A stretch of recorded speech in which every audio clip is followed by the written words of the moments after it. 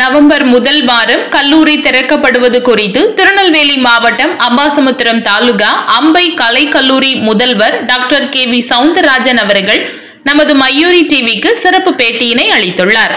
பெயர் doctor K V Soundararaja.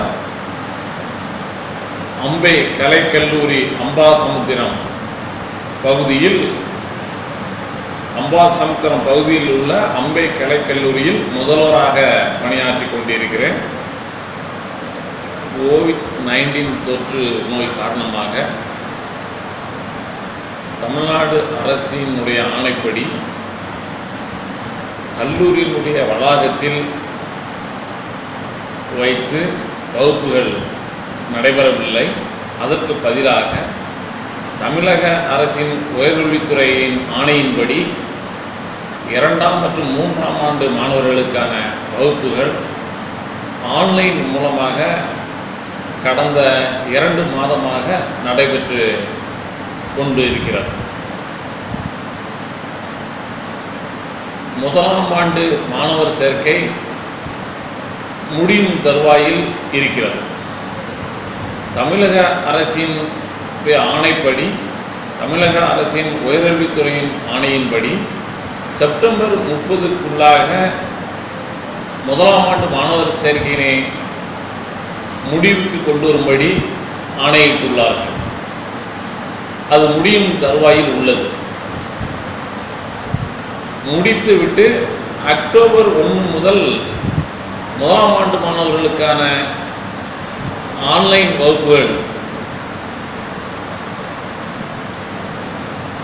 ஆரம்பிக்கலாம் என்று கல்லூரி அனைத்து கல்லூரி முதல்வர்கள் முதல்வர்கள் முடிவு செய்திருக்கிறோம். இன்றைக்கு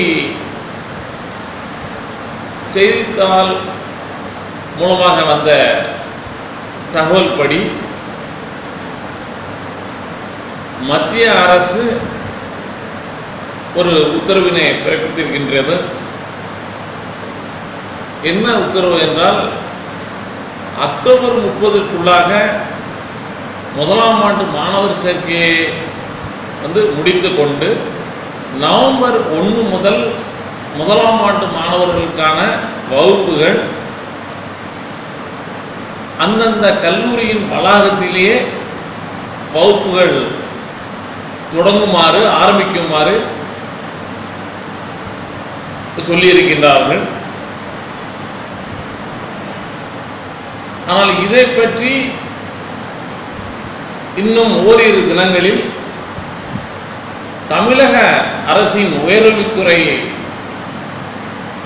உயர்கல்வித்துறையிலிருந்து இது சம்பந்தமான இறுதி உத்தரவு வரலாம் என்று எதிர்பார்த்து கொண்டிருக்கிறோம்.